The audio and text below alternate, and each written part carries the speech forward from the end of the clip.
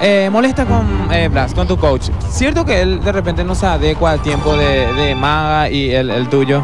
Eh, lo, que, Bueno, para que la gente sepa, Maga y Pelado también están con el mismo coach. lo que pasa es que eh, no sé si se adecua al, tiempo, a los tiempos de ellos, pero nosotros siempre ensayamos temprano, 9 y media o 10 es nuestro horario. Entonces, como que siempre quedamos porque él termina, él enseña Zumba, entonces él termina su clase Zumba y ya va. Ahora, si llega temprano, no, no llega temprano. Me, yo he esperado media hora de repente y, y todo el mundo está ahí y yo esperando y yo soy mamá, tengo otros laburos y de por ahí a veces puedo invertir en ese tiempo en estar en mi casa o yéndome al súper o no sé, algo, algo que de por ahí sí merece más importancia y mientras tengo que esperar y después no se me pide disculpas. Entonces llegar- pedís la cabeza de, de Blas, ya no querés que sea tu coach. no, lo que quiero es que sea quien sea la persona que nos va a coachear, que sea responsable al igual que nosotros. Que sea responsable al igual que nosotros. Yo no voy a hacer ni siquiera campaña porque realmente es culpa de él que hayamos entrado a sentencia para empezar luego. O sea, no me digan la boludez de que, ay, vos, vos bailaste mal, que no sé qué cosa. No, el show que hicimos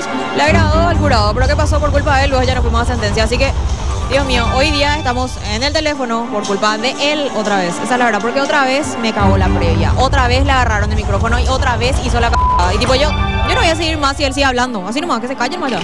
Ella me pidió ensayar a las 10 de la noche, que supuestamente por contrato tiene a las 10 de la noche. Y le pregunto yo a la producción, ¿tiene por contrato a las 10 de la noche que ensayar? Es mentira.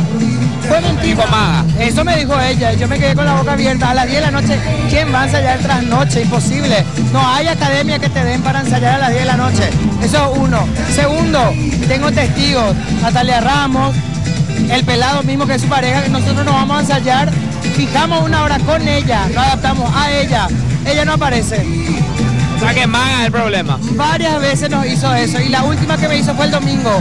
Ella sola fue la que dijo, a las 5 de la tarde voy a ir a ensayar el domingo. Y una hora antes me dice, tengo Sport que no me voy a ir.